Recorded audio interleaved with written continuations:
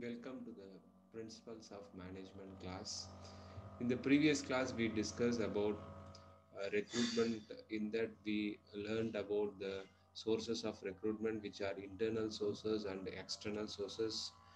Uh, we also learned about the advantages and disadvantages of uh, both internal and external recruitment.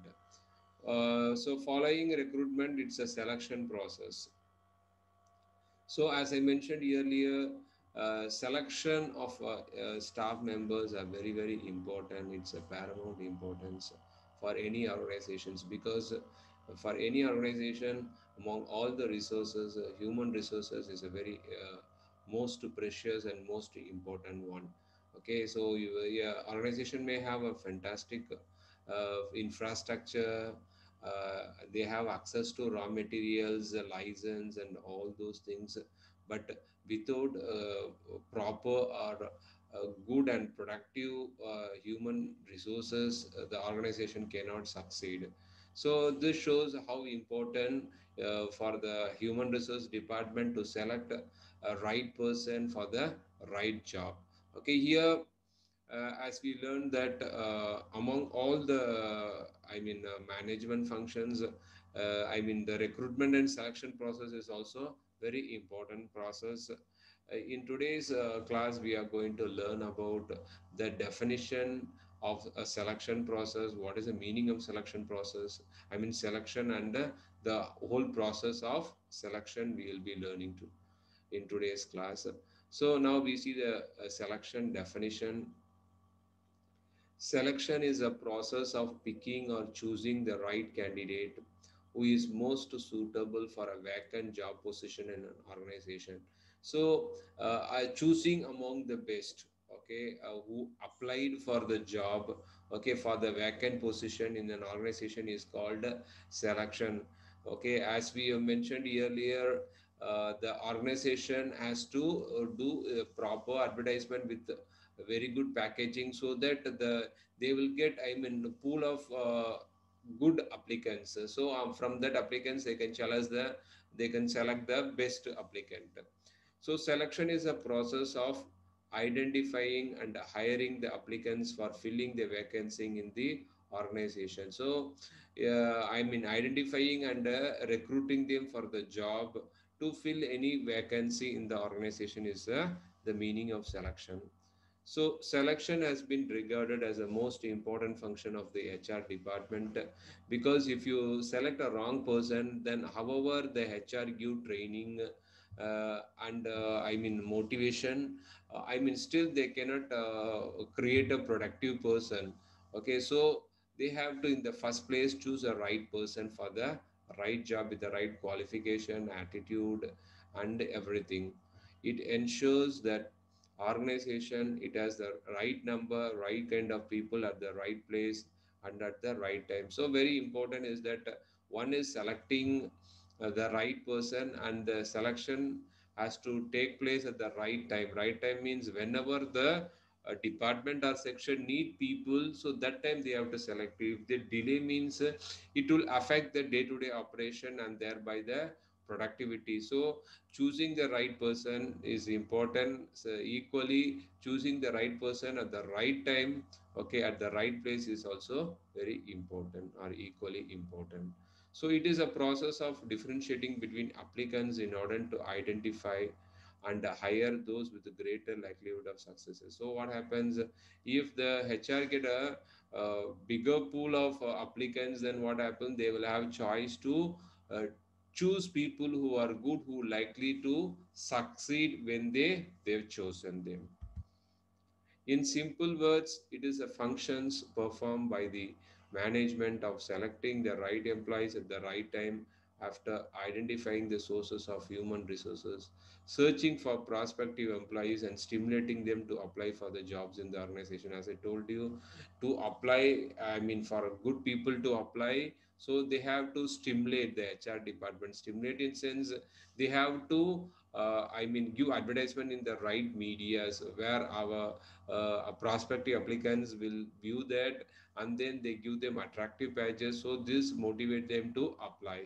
So the objective of the selection decision is to choose the individual who can most successfully perform the job from the pool of qualified candidates. So here you in the picture, you, there are pool of applicants. So the HR is selecting the people who will be likely to succeed in their given positions. Uh, that is about the meaning and definition of selection. Now we move on to the selection process. It's a step-by-step process which includes uh, blank application form that they have to uh, prepare the application form and give to the uh, applicants to fill in. After that followed by the preliminary interview later by the employee test. Once they successfully go through the employee test then the employee will undergo an interview employee interview. Once they successfully uh, come out of the employee interview then they will be going for the reference check. That is will be done by the uh, hr department. After the everything is okay with the reference check then they will go for medical examination to show they are fit. Once after that they will be given an appointment letter and then uh, they'll be given a day to join. So when they join that day they'll be given the induction here uh, application uh, form. So what is the application form? So once they apply through the resume what happened once they come for interview they'll be given an application form where they will be asked to uh, write down the details like their demographic details the name uh, age qualification date of birth uh, maybe their i mean their pan number uh, or ic number whatever it is. All those detail will be they have to record their address their uh, educational qualification and then uh, any professional body qualification they have they are, are attached to any professional bodies uh, and then uh, their experiences then uh, the reason for leaving their previous job. So all the information expected salary and also seeing the scope of job they were doing in the previous organizations or previous employment. So all those uh, information will be the telephone number and all the contact details uh, so all will be there in the uh, application form. Once they fill in the application form then there will be a preliminary interview with the hr department. So the hr department will basically ask them their uh, details and all those things and match that with the uh, job description for a given vacant position. Once it is matches then they will uh, undergo a test. So after that test they will be uh, given an interview. Here in this interview usually it will be a panel members a panel interview. So the panel members usually consist of the hr personnel or representative and then the departmental head. uh, and then maybe a, a, a, person from the management it may be a owner or board of directors or someone from the uh, managing uh, i mean management uh, side will be there. So this uh, interview they'll be asked everything right from they will check the skills knowledge and the attitude and then reason for joining a reason for leaving. So all kinds of uh, i mean information will be checked and asked okay so once they successfully go through this then there will be a reference check.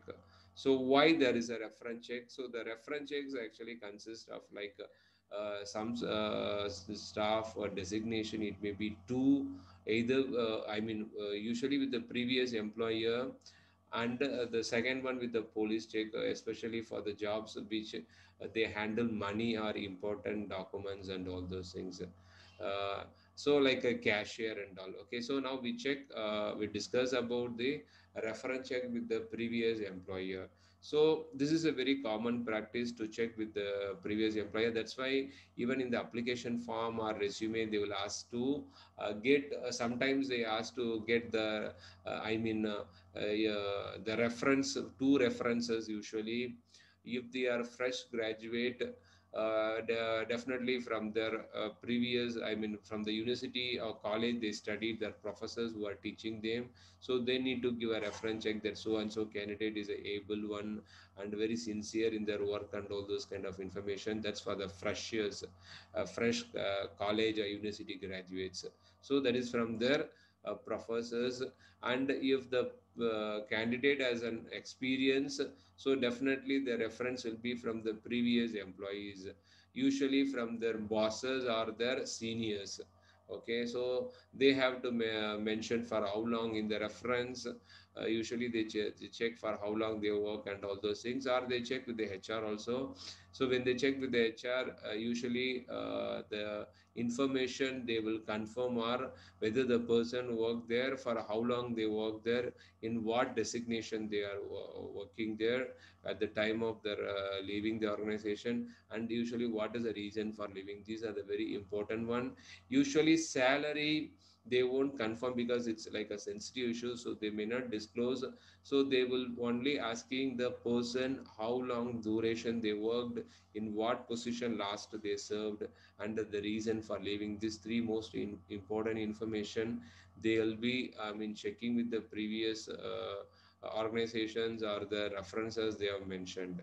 Okay so that is for the one reference check. The second one as i told you the police verification. These are done for a like very important uh, confidential like uh, i mean uh, money handling jobs uh, like cashier and all they will check with the police station. So when the uh, candidate furnish their uh, address so the in the local police station in the area where the they are residing the candidate they will check whether they have any crime record.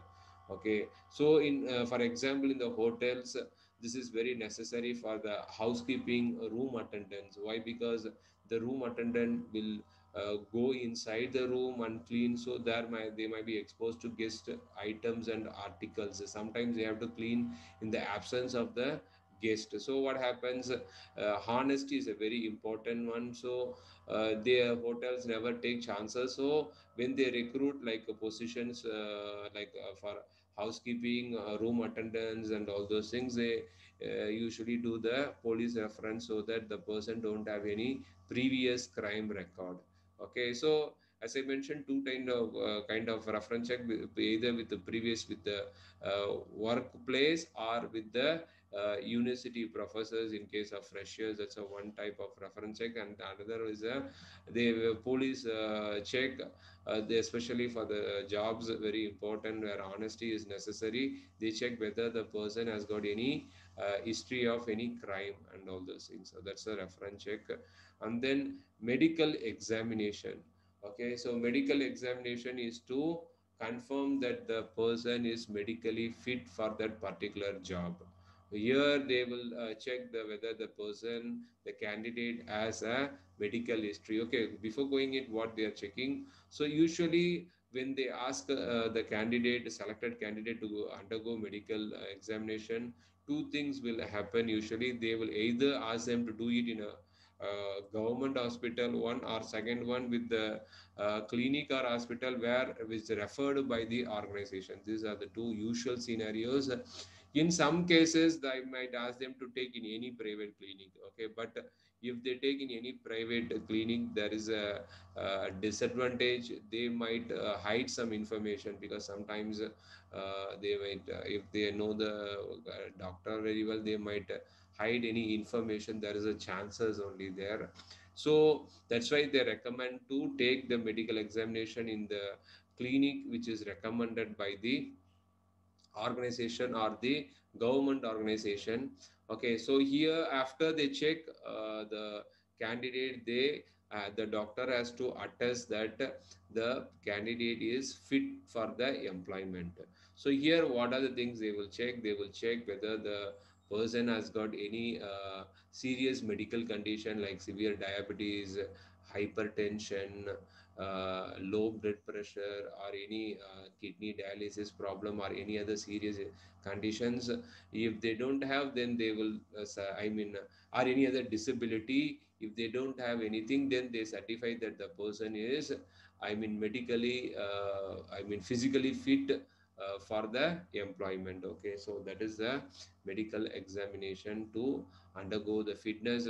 Once after everything they go through they got the medical examination they got the there is a medical gone through and they got the fit- fitness certificate from their previous i mean from the clinic or hospital. They will submit to the hr department. Once after that they will prepare the uh, i mean appointment letter and uh, they will inform in the appointment letter when they need to join. So uh, the, during the, the date of joining they'll they'll be undergoing an induction. So what is the induction? Induction also it comes under a sort of training but here in the induction uh, i mean instead of they giving training in their area of specialization on skills or knowledge here they will be given like a sort of introduction to the organization. Okay so like uh, in the hotels like when we work those days what happens uh, when we join they take us they, uh, to the what is it uh, to the uh, training room. They showed us a, a video of like uh, how the hotels there i mean hotels operates uh, operation day-to-day operation. The facilities hotels have like uh, how many rooms they have the f&b outlets and how many banquet meeting rooms they have. Uh, that's one thing the facilities and then the gymnasium uh, the beauty parlors spas and the shop uh, shops they have. All those facilities they have infrastructures. And then uh, there will be also an introduction to the top management. Okay introduction means who is the which group it belongs to if it's a chain uh, hotels. And then who is the uh, owner or managing director who all comprises of the board of directors and then the HODs head of the each head of the departments and assistant managers and all those things. So this uh, and the, what is the vision mission of the organization. Uh, so all the and the little about the culture. So everything will be included in the induction. Okay, so uh, and then they will be taken a tour. Uh, I mean, among all the departments, they'll be introduced to the uh, managers and supervisors and all those things. Uh, so this induction is usually like maybe one day. It may be like one week. Uh, something like that. Usually one day it will be there, and then for the freshers it may go like uh, one week uh, something like that. But for the top positions, I mean, they usually, uh, I mean, uh, cut short, like uh, make it like one day. So once after one day induction period uh, completes, they'll be joining the department which they are supposed to join. So some organizations skip, but it is not very professional to skip because induction will give you idea to the new candidate about the uh, their uh, facilities and what is their uh, goal or achieve they need to achieve what is their organizational culture they will have some understanding and idea. So i mean and whereabouts like even things like if it's a big factory or a, a government where things like where is a washroom and where is a cafeteria where is a notice board so that the person is not stuck and maybe what is the procedure to apply leave and what is the procedure? I mean if they want to uh, i mean reimburse something and all those things uh, information will be given by this thing. So they are like have a very clear cut idea of uh, how the operations goes on and how they will be part and parcel of that particular organization. So uh, this induction is very important uh, as i mentioned earlier because this will uh, give a clear cut idea of uh, how they are going to work in that organization so uh, so once they uh, finish the induction then the uh, person will be uh, sent to the department where they are supposed to work. So, so these are the steps. Uh, I mean, uh, which uh, a selection process undergoes right from that uh, time of application filling to the induction. So usually these all may may be there. I mean, most of the time they go through all these things. In some organization, they may have may not have one or two step okay maybe they just fill the application then there will be a, a interview then there uh, may be a medical and then they may join okay in small organizations uh, but a big organization which are very quite professional usually they undergo all these steps in order to i mean uh, what do you say in order to go the i mean uh, finish the selection process so here uh, i mean uh, these are the details usually they ask in the application form. So for this class, I think we will finish with this and then we will uh, see the details of each step of selection process in the next class. Okay, thank you.